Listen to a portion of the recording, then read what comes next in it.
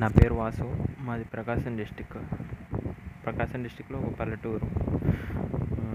మెయిన్గా నా ఏజ్ వచ్చేసరికి twenty five point something. And my qualification వచ్చేసరికి tenth then after diploma mechanical three years continuation. అది చేసినాక ఇంకా నేను కాంపిటేటివ్ ఫీల్డ్కి వచ్చేసాను. బీటెక్ చదవబుద్ధి కాలేదు. బీటెక్ చదవడం వల్ల అంత ఉపయోగం అనిపించలేదు నాకు.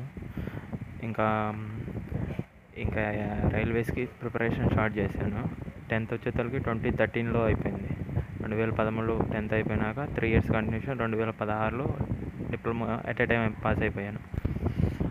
అట్ డిప్లొమాలోనే మనకి ఇండస్ట్రియల్ ట్రైనింగ్ అని లాస్ట్ సిక్స్ మంత్స్ ఉంటుంది. ఆ సిక్స్ మంత్స్ ట్రైనింగ్ కూడా సర్టిఫికేట్ కొనేసి ఇంకా నేను కాంపిటేటివ్ ఫీల్డ్కి వచ్చేసాను.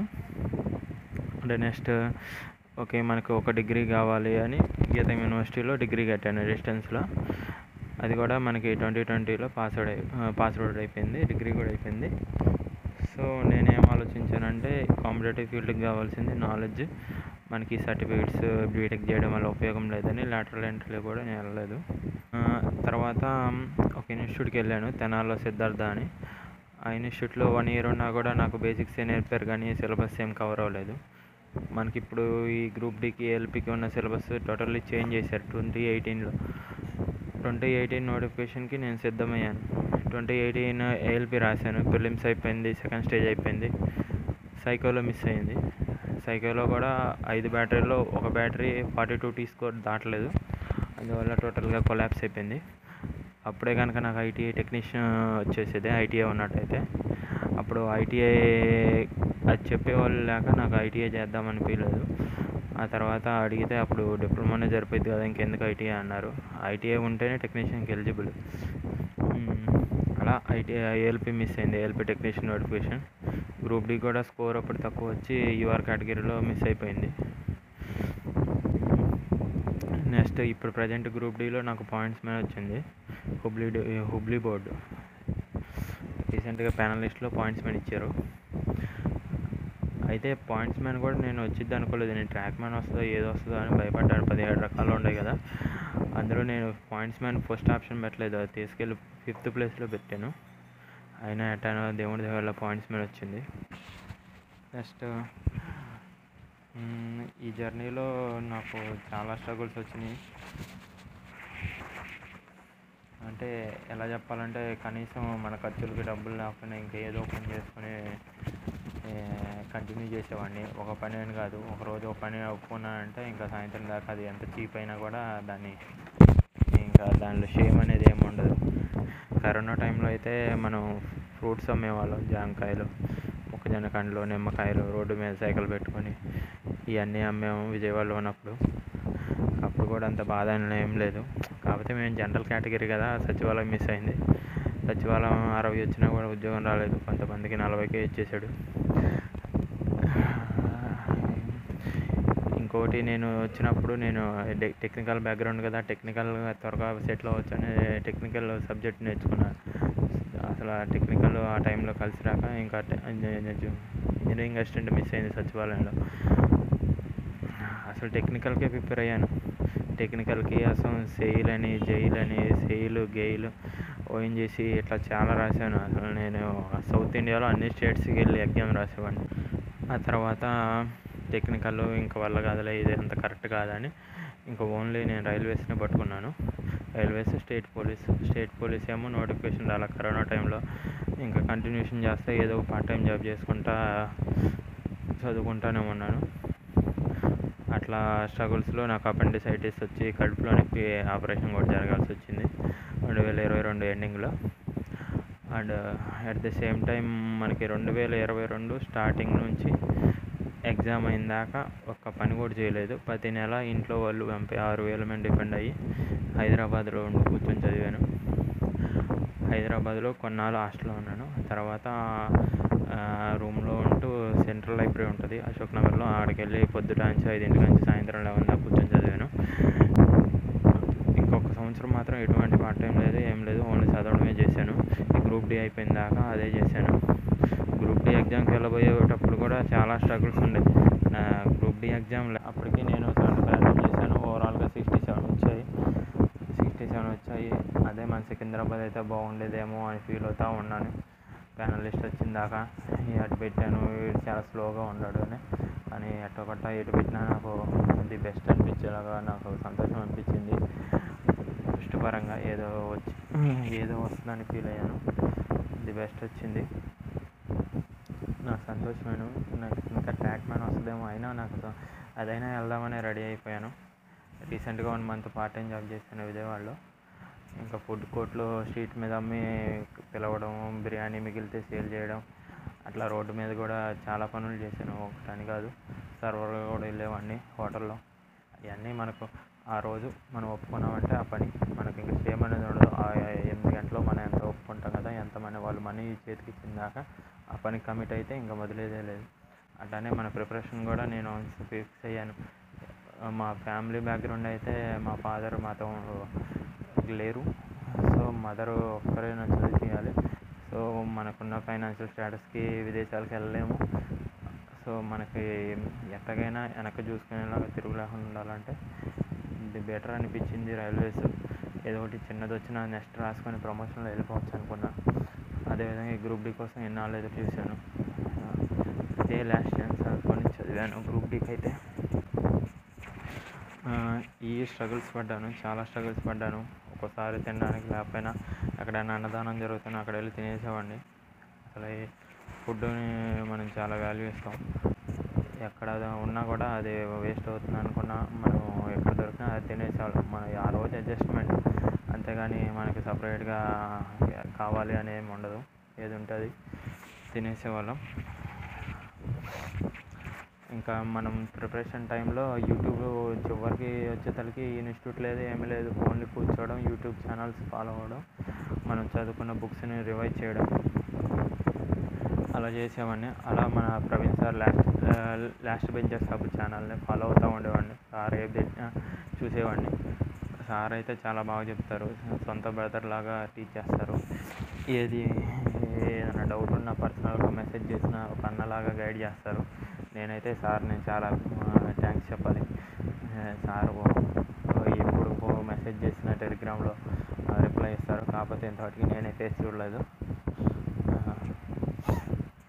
అయితే రీసెంట్గా వచ్చిన పాయింట్స్ మెన్ అనేది ది బెస్ట్ అంటున్నారు. ఎందుకంటే నెక్స్ట్ ఎల్డీసీ అనేది లిమిటెడ్ డిపార్ట్మెంట్ కోటాలో మనం వెంటనే త్రీ ఫైవ్ ఇయర్స్లో ఎస్ఎం కానీ గాడ్ కానీ లేదంటే సిసిటీసీ కమర్షియల్ కంప్లైన్స్ క్లర్క్ కానీ ఏదో ఒకటి అయిపోవచ్చు అంట ఇదే ప్రిపరేషన్ ఇలానే కంటిన్యూ చేసి ఏదో ఒకటి లెవెల్ సిక్స్కి రీచ్ అవ్వాలని అనుకుంటున్నాను. అదే నా టార్గెట్ అప్కమింగ్ రైల్వేస్ వాళ్ళకి నేను చెప్పేది ఏంటంటే బుక్స్ ఏమి ఎక్కువ కొనగాకండి.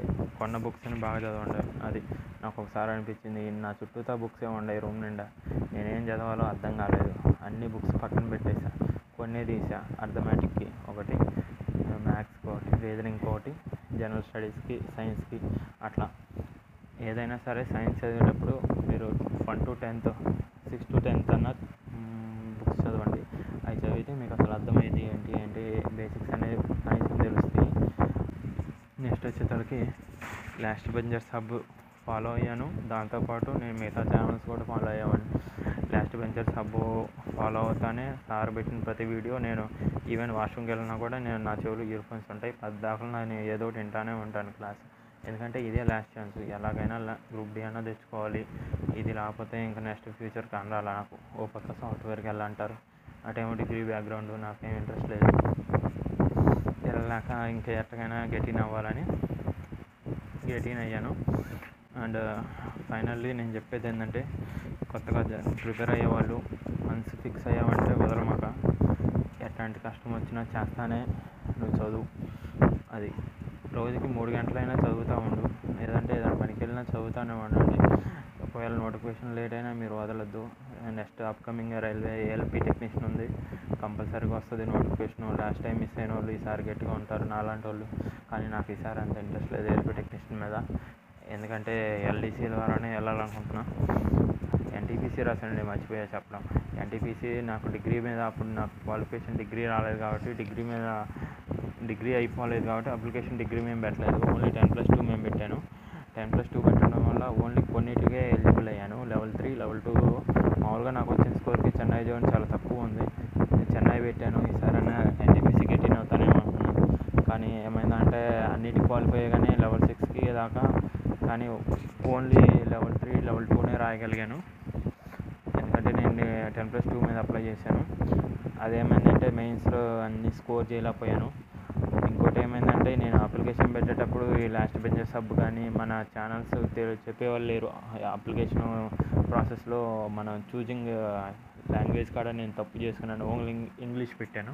సో నేను మన రాసిన గ్రూప్ డి కూడా పూర్తిగా ఇంగ్లీషే వచ్చేసింది. ఒక్క క్వశ్చన్ కూడా తెలుగులో రాదు. సో నేను మెంటల్గా ఫిక్స్ అయ్యాను. ముందరే ఎగ్జామ్స్ రాసేటప్పుడు ఇంగ్లీష్ అని. ఇంకా సో అలా అదొక అదొక మిస్టేక్ అయింది. ఎన్టీపీసీకి అయితే బాగా దెబ్బ కొట్టింది. జనరల్ అవేర్నెస్ మనకి మార్క్స్కి అది బాగా ఉపయోగపడింది కాబట్టి ఆ జనరల్ అవేర్నెస్లో తెలుగు రాకపోవడం నాకు కొంచెం దెబ్బ కొట్టింది. ఈసారి అప్లికేషన్ పెట్టేటప్పుడు చాలా జాగ్రత్త చూసుకోవాలి ఎవరైనా. అది ఒకటి మిస్టేక్ చేయకండి. నెక్స్ట్ అది టోటల్గా ఇది రావాలంటే కేవలం మా మదర్ గ్రాండ్ మదర్ వాళ్ళ వాళ్ళ సహాయం లేకపోతే నేను అసలు ఈ గ్రూప్ డి ఎంత దూరం వచ్చేవాడిని కాదు. మనీ ఎవరు ఇస్తారండి ఒక నెల నెల ఆరు వేలు ఇంట్లో వాళ్ళు కాబట్టి పంపారు కానీ వాళ్ళు ఉండరు కాబట్టి నేను ఇన్నాళ్ళు చదివాను ఓపికతో ఉన్నాను. అండ్ వన్ మోర్ థింగ్ మేము మళ్ళీ చౌదరీస్ మాకు రాదు అనేవాళ్ళు కానీ వస్తుంది అని గైడ్ చేసిన వాళ్ళు ఇంట్లో వాళ్ళు కూడా లేరు. ఇంట్లో వాళ్ళకి కూడా నమ్మకం లేదు నాకు వస్తుందని. నాకు వస్తుందని నా మీద నాకే ఉంది నమ్మకం. ఇంట్లో వాళ్ళకి కూడా నమ్మకం లేదు అసలు ఇంకా పక్కన వాళ్ళకి ఏముండేది నా మీద నాకే నమ్మకం ఉంది వస్తుంది. మన మీద మనం నమ్మకం పెట్టుకోండి. ఎప్పుడైనా మీరు నేను అసలు నాకు టెన్త్లో వచ్చింది నాలుగు వందల రెండు సిక్స్ పాయింట్ సెవెన్ అది టెన్త్లో కూడా నేను నేను ఏమంత పెద్ద టాలెంటెడ్ ఏం కాదు యావరేజ్ స్టూడెంట్నే. అది టెన్త్లో కూడా నా ముందర అమ్మాయి చూపించింది. చూసి రాసాము అంతా అదేముందండి టెన్త్లో పాస్ ఫెయిల్ ఇప్పుడు టెన్త్ ఫెయిల్ అయినా కూడా మీరు గవర్నమెంట్ జాబ్ కొట్టచ్చు. అదేం పెద్ద సమస్య కాదు. అది నేను చెప్పేది. నాకైతే హిందీ అసలు రాదు. మా ముందర వాళ్ళు చూపిస్తేనే రాశాను. బిడ్ బ్యాంక్ చెప్పేవాళ్ళు. అట్లా అయిపోయింది అనుకోండి అంత నేను టెన్త్ దాకా అసలు చదవలేదు. ఒక డిప్లొమా కాడ నుంచి చదవడం మొదలుపెట్టాను. అసలు నాకు ఇంగ్లీషే రాదు. డిప్లొమా నుంచే ఒక సబ్జెక్ట్ కూడా సప్లీ రాయకుండా పాస్ అయ్యాను. At a time eighty two percent వచ్చింది. ఫైనల్గా నేను చెప్పేది ఒకటేనండి. వన్స్ ఫిక్స్ అయ్యారా జాబ్ రావాలంటే స్టార్టింగ్ ఏజ్ వాళ్ళు అయితే మీరు అప్రెంటిస్ అప్రెంటిస్షిప్ చేసేయండి. ఎంత అన్నీ ఉంటాయని.